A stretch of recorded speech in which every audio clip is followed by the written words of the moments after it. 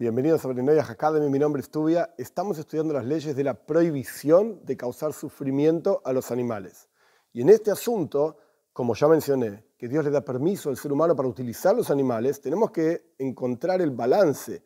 ¿Dónde está esto que está permitido utilizar el mundo y dónde está esto que está prohibido causar sufrimiento a los animales?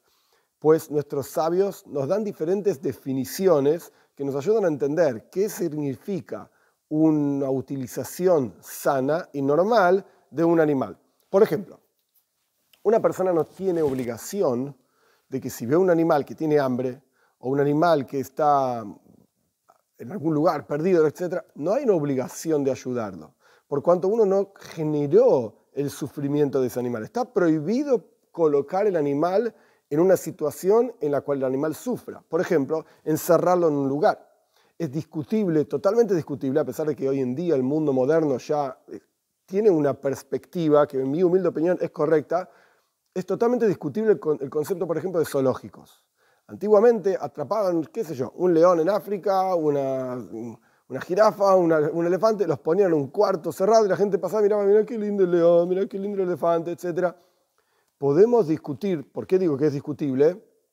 Porque puede haber una utilidad para el ser humano que entienda cómo son estos animales que obviamente no están dando vueltas por todos lados, están en ciertos lugares, o para aprendizaje, o para práctica de veterinaria, o simplemente para disfrutar de observar criaturas diferentes que no se encuentran en todos los lugares. Esto lo podemos discutir, a pesar de que claramente para un león que está acostumbrado a andar dando vueltas por la sabana africana, de repente estar encerrado en un cuarto que tiene 5 metros por 5 metros puede ser un sufrimiento, efectivamente. Entonces, por eso la sociedad moderna como que va de a poco cerrando los zoológicos, recolocando los animales en diferentes lugares, pero es, discutible, esto es lo que quiero decir, para entender el concepto de generar sufrimiento en los animales es discutible si es correcto el concepto del zoológico o no es correcto. Hay quizás un zoológico más abierto, donde cada animal tiene un montón de lugar. Podemos discutir el asunto, no estoy diciendo ni sí ni no. Lo que está prohibido es generar el sufrimiento del animal. Pero de vuelta, volviendo al comienzo, si el animal por alguna razón está sufriendo porque se cayó esto, lo otro, no hay una obligación, de esto estoy hablando, de ir a ayudarlo. Si la persona quiere ayudarlo, me parece loable, me parece muy bien, pero aquí estamos discutiendo la obligación. Próximo paso, está permitido, por ejemplo, agarrar un palo y montar a caballo y golpear al caballo para que ande más rápido, para que ande más lento, etc. Porque la persona lo está haciendo con un beneficio. Lo que está prohibido es un golpe cruel. Agarrar el palo con pinches, con clavos metidos y ¡pah! darle. Esto no.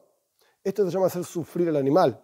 Pero la utilización del animal en beneficio del ser humano, en este caso un caballo, es un ejemplo, para montar y para ir de un lugar a otro, eso sí está permitido, porque la persona está gobernando, y esto vuelve al comienzo del asunto, donde Dios le da al hombre, al primer hombre, y después a Noyaj, el gobierno por sobre los animales pero no para hacerlo sufrir, no para hacerlo sufrir. Por ejemplo, otra idea más, está permitido el concepto de conejillo de indias. Más allá del animal eh, concreto, cuál es el conejillo de indias, utilizar, por ejemplo, los médicos utilizan ratas, los investigadores, etcétera, para probar remedios, para probar cuestiones. Ay, estás haciendo sufrir al animal, el animal se va a morir y esto y lo otro, pero un momento. Ese animal está sufriendo para que el resto de la humanidad entera tengan un remedio determinado que sirve para tal cosa, que sirve para tal otra, o lo modifiquemos al remedio para que realmente sirva para el ser humano, quiere decir que ese animal está siendo un bien, un beneficio para toda la humanidad, a pesar de que ese animal particular esté sufriendo. Es totalmente discutible, las opiniones que yo vi dicen que está permitido, pero es discutible si está permitido realmente no o no, matar un animal cuando uno considera que el animal está sufriendo. Por ejemplo, en las veterinarias puede ocurrir que un determinado animal, pongamos un ejemplo de un perro, está muy enfermo. Entonces los dueños trataron de curarlo, un remedio, esto, lo otro, una operación, y la veterinaria dijo, no va más. O un caballo, suele ocurrir. Entonces lo matan. Es discutible, hay opiniones que dicen que está permitido, opiniones que dicen que está prohibido, es discutible si está bien o no. Porque ¿quién te dijo a vos que el animal está sufriendo? Déjalo vivir, déjalo en paz. Ay, porque el caballo ya no, ya no sirve más para las carreras. entonces lo vas a matar, Dios libre y guarda.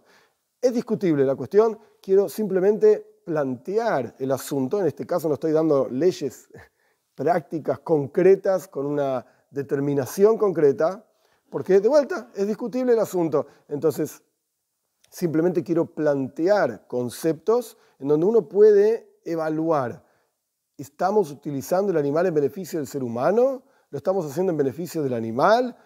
¿Qué sabemos real, concreto, de lo que está pasando con el animal? Si sufre o no sufre, etcétera. ¿Por qué lo vamos a matar? Estos asuntos son los que incluyen, hay más ideas, por supuesto, que vamos a ir viendo más adelante, son los que incluyen los conceptos de Tsar Balei Haim, la prohibición de causar sufrimiento a los animales.